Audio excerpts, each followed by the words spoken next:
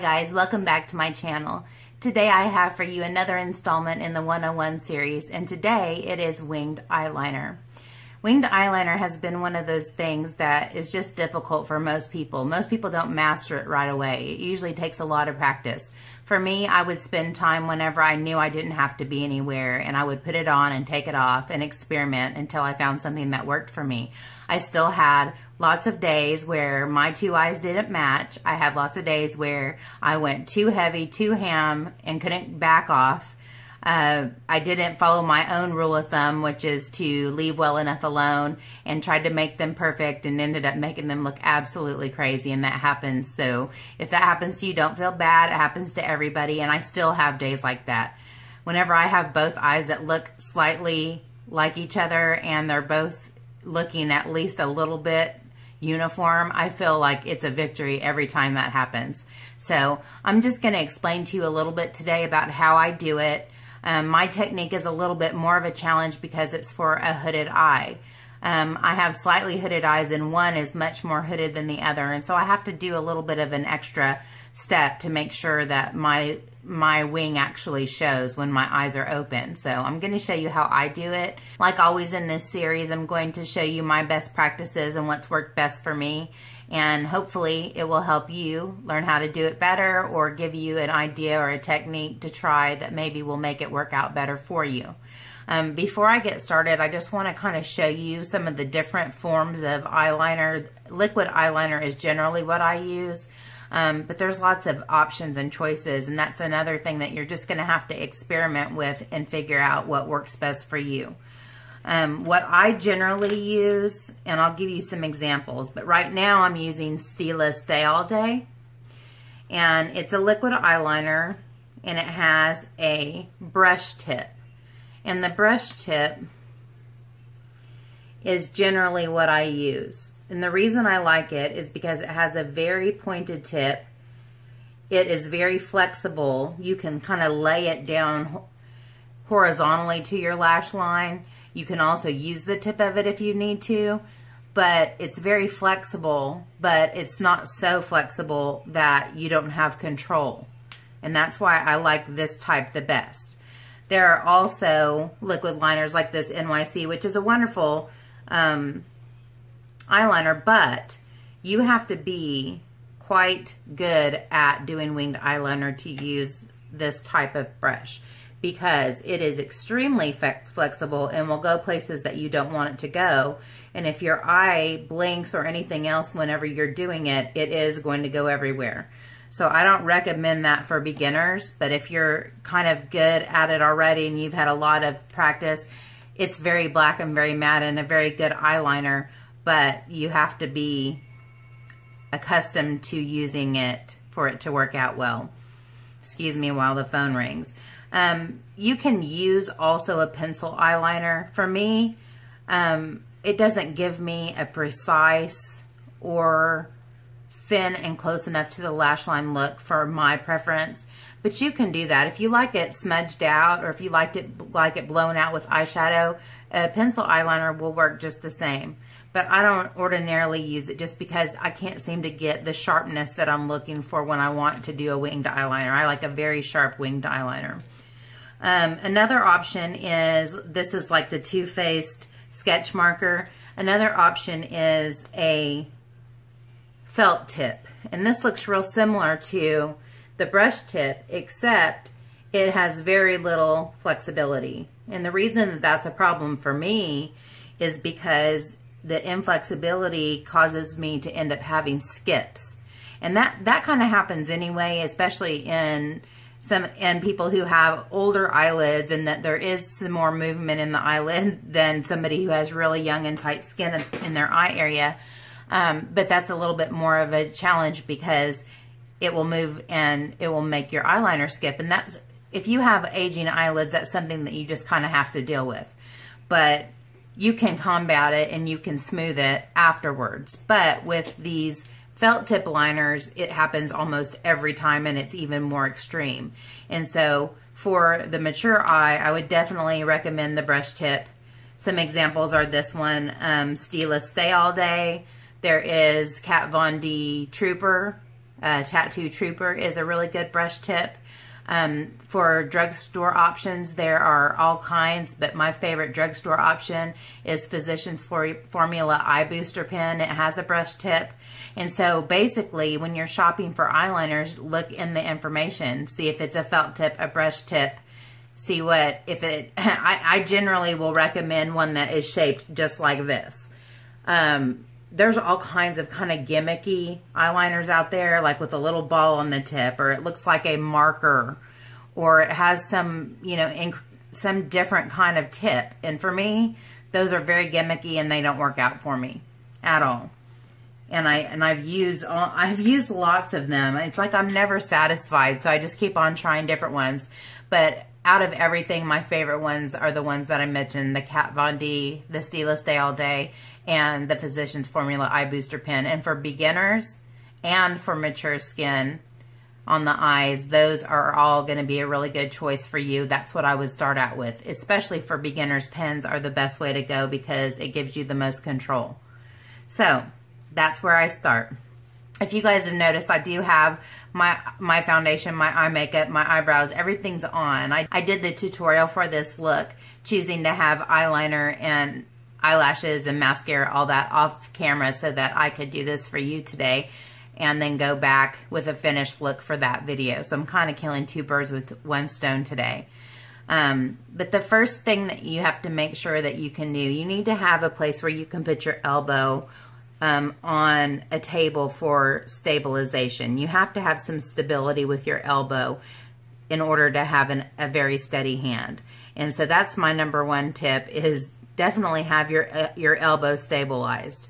Another thing is to have your mirror in front of you in a way where you're kind of looking down into it because it gives you more of a view of where you're putting the liner. If you're straight on or if it's above you like this, you're not going to see where you're putting the liner. So have your mirror tilted backward where it, you're looking down into your mirror at your eye. Some people even put it down below with a compact way down here. And that's a good tip for false eyelashes too. But that's a good place to start. As far as your hand is concerned, I know like I I like to hold my eye a little bit taut. Most people don't recommend that obviously because it stretches out your skin. But um, if I don't, I don't get it on there smoothly, not even in the slightest. So that's part of mine. I like to have my hand up here, but also because it gives my hand a place to land and another way to be more stable. And so there's two reasons why I have my hand there most of the time. To hold my skin very slightly taut and to have another place to stabilize my hand. If you don't want your hand there or you're not going to do that, you can also put your pinky against your face and that also gives you some stabilization of your hand. The thing that will cause you the most problems is to have an unsteady hand, to have a shaky hand. So if you start off with all of those tips and have your elbow planted on a table or your hand or your pinky to give you some stabilizations, that's your best starting off point. So I will show you my method. My method is very different than most that I watch, but this is what I figured out to be the best for me, and it's kind of like a little three-step thing, and I do it that way every time. So if you've seen any of my tutorials, then you've seen me do this over and over again. Um, it's difficult when you're used to doing this as second nature to slow it down to show somebody step by step. So I may not end up with a perfect line today, but I'm going to try. It's hard to slow it down when you're used to doing it in kind of like a fluid step-by-step -step thing, but I'm going to try. The first thing I do, and the way that you decide where your outer wing goes is to, it's kind of an extension of your lower lash line. So if you can think about it like this, some people use tape, and you can try that if you like, but I don't like it pulling all the rest of my makeup off. So I just kind of envision it as an extension of my lower lash line and it goes from there pointing up towards the tip of my eyebrow and that's how I gauge where I start my line and I always start with my line. So I got my elbow planted. I'm going to have my hand up here for stability and so I just go right into the corner of my eye and I pull out like that. The further you pull it, the more dramatic your wing's going to be. I'm doing a slightly not glammed out look today, kind of a more natural look, so I only pulled it out a very short distance there. You can go as long as you want to go. I also, some people do it a little bit more right here. I pull straight out from there because if I were to go up any further, when my eye opened, it would close into my lid, and I don't want that to happen. So that's a tip for the hooded eye ladies. You may want to look up and make sure that when your eye is open, nothing's closing up in your crease. Okay, that's step number one. And the next step is to pull from the inner eye over into as far as you can pull across. I used to go all the way down into the center of my eye. I don't do that now because I have very watery eyes and it ends up getting messing up all my inner corner work, which I don't want that to happen. So I start a little bit shy of the very inner part of my eye. And I just pull all the way across. And you can see there's a little bit, it's not completely um, straight or fluid and so I have to go back and fix but I'm just getting the line. I'm basically getting the outline of my line done right now. Now this is a choice. You can start not all the way at the end of your tip and pull across and kind of have like a a skinnier pointier edge. I like to just have I like to start at the very end and pull back across because that's just the way I like it to look. If you want an extending out line for your wing. You can do it however you like. I like mine to be a little bit thicker. And so I go to the very end of where I drew the line and I kind of swoop down to meet up with the other line. And as you can see, I swoop down because if I were to go straight across, when I open my eye, it would be closed up in my lid and then it wouldn't look like a wing. It would look like there was this, there was part of the wing missing. So for hooded eye people, you kind of start here, but you have to swoop down in order to make sure that you don't close it up. At this point, I go in. My brush is probably a little bit dry because I've been talking. It is. And for Stila and um, and Kat Von D, when you push back in, it gives a little resistance because that's actually pulling product down. You can shake it, and if you ever run out of liner, just put it back into your cap and shake it a little bit, and it will refresh itself. My phone doesn't ring ever, and then I'm filming, it rings eight times in a row. But anyway, I'm just going back through here, right up next to the lash line, filling in the blank. All the place that doesn't have the black liner, that's where I'm putting it in right now.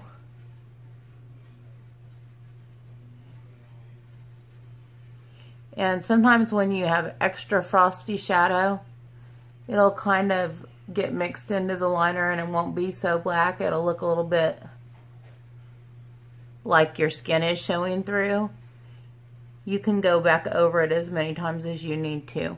I find that this Stila liner is a little bit waterier of a formula than the Kat Von D is a little bit more opaque, but this one is more matte and the Kat Von D is, has a little bit of a shine to it. And so it just depends on your preference. At this point, I go back to this line that was a little bit jaggedy and go back over it again. This is where you can get, if you're perfectionist, this is where you can get yourself in trouble by making it way too thick. And that happens because you just keep adding, trying to smooth it out, and you end up with way too much.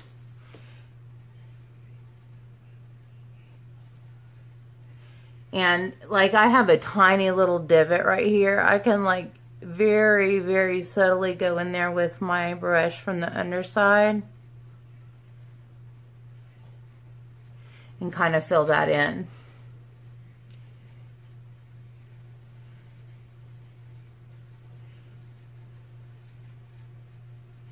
And at this point, I would leave well enough alone. And I say that all the time because if you keep trying to perfect it, you will end up with something, an eyeliner that covers your entire head.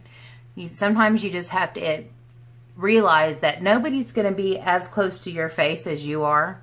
Nobody is going to be able to see some tiny little imperfection. So remember that. Even you, like from here, you probably think I have the sharpest line ever. Well, obviously I don't because as I showed you, I had a little divot out. And if you're going to wear false eyeliner, uh, uh, uh, if you're going to wear... if you're going to wear false eyelashes, a lot of that's going to be covered anyway. So just keep those things in mind. I'm not going to talk my way through this second one. I'm going to do it in real time so that you can see how I do it without stopping and starting and explaining because I've already done that with this eye. So now just watch me do it. Watch me work, girl. Watch me work. watch, I will mess this all the way up at this point since I got my little attitude going. But anyway, here we go.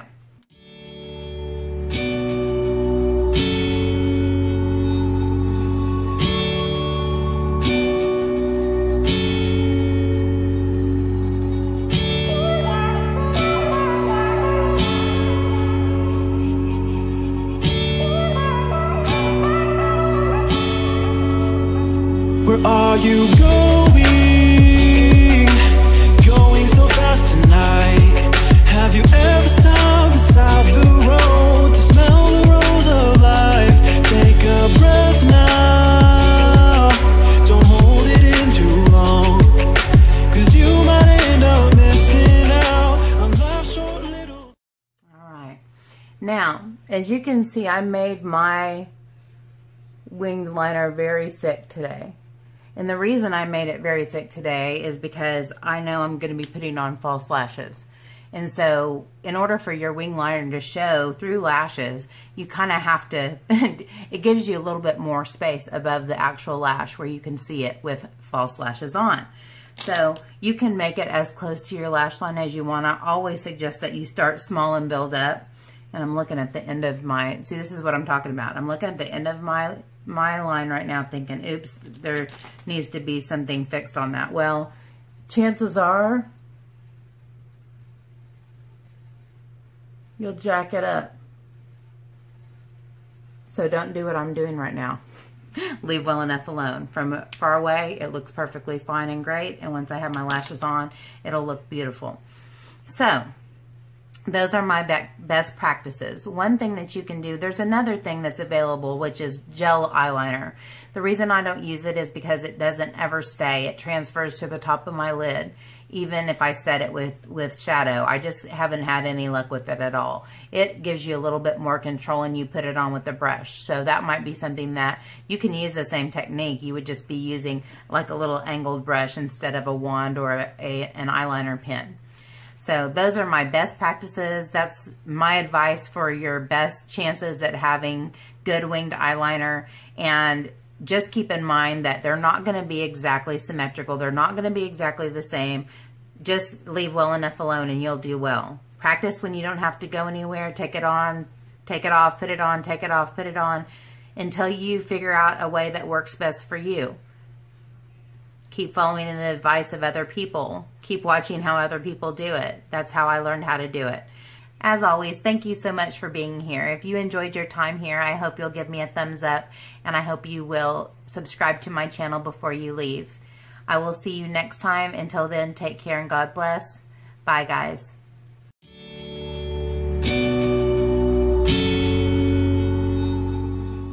I did this uh, tutorial for this look and I am going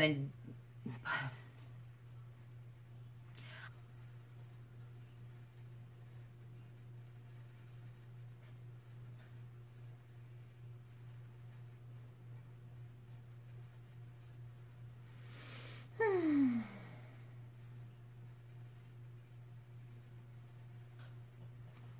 the best the the most the thing that's going to be the the most